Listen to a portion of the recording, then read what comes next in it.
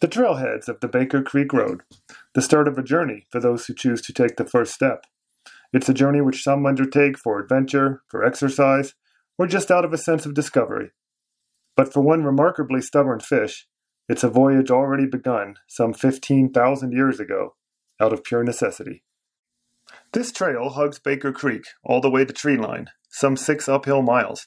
And like the thin string of a child's helium balloon, Baker Creek tethers its namesake lake to the ranches and alfalfa fields of Snake Valley, a full vertical mile below. On a scale of geologic time, these ranches are new to the land. What existed there before was a lake, fed by mountain glaciers and inhabited by, among other fantastic creatures, the Bonneville cutthroat trout. The planet has changed a lot over the course of millennia, the organisms which inhabit it, and the atmosphere which sustains them. Our species has affected both. Lake Bonneville, as we now refer to that ancient lake, is long gone. The Bonneville cutthroat trout hangs on, having fled the dying lake and moved uphill to the mountain streams of the Great Basin, including the Snake Range in eastern Nevada. Like all trout, Bonnevilles require cold, oxygen rich water their numbers within Great Basin National Park already decimated by the introduction of aggressive non native trout, like this brook trout. A warming planet harbors no good news for one of Nevada's few native trout.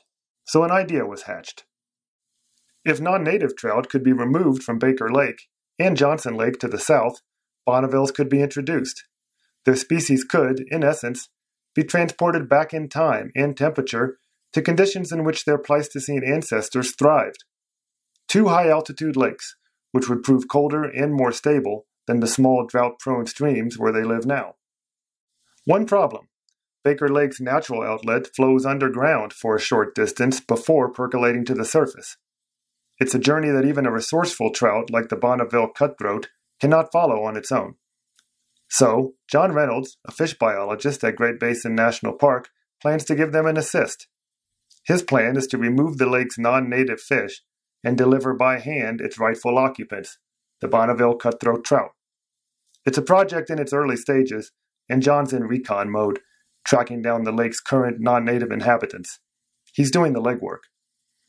This high elevation fortress of water and stone will hopefully prove a long term sanctuary from human driven climate change, but it will likely not be a permanent one. The waters of Baker Lake will eventually warm as well, but this move may just give the Bonneville cutthroat trout a fighting chance to hold on to their birthright in the waters of the Snake Range at Great Basin National Park.